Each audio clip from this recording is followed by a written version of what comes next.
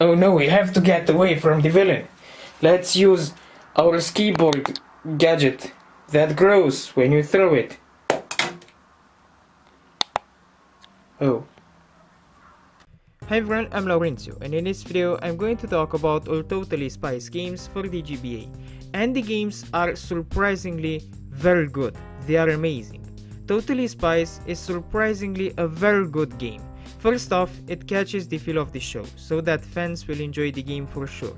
And second, it manages to make a gameplay that is objectively good, so that people who never watched the cartoon can enjoy the game too. This is impressive, especially since tie-in games usually are bad. Well, not these two games, and not this one too, which appears now in the video. As for the gameplay, well, many of the game's levels require platforming, but that doesn't mean that the game is a platformer. No, actually the game includes vehicle levels, dance levels, different sorts of puzzles. The game switches from one gameplay element to the other so that the experience gets far away from being repetitive. That's what I like to see in a game. Variety in gameplay. And as for the second one, Totally Spies 2 Undercover, it does the same thing. It offers variety.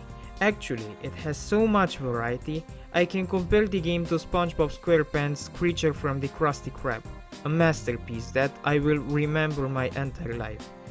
And similar to that game, you get so many gameplay elements that you barely feel that anything gets repeated.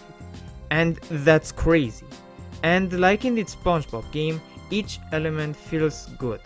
I consider these two games, the two Totally Spies games, masterpieces. They are fun to play, full of content, they manage to avoid repetitiveness by having a huge amount of different gameplay styles. I recommend the games. They are amazing.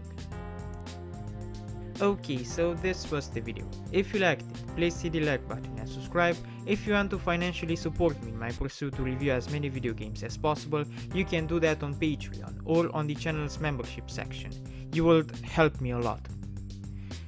If you want, you can follow me on Twitch, Instagram or Discord.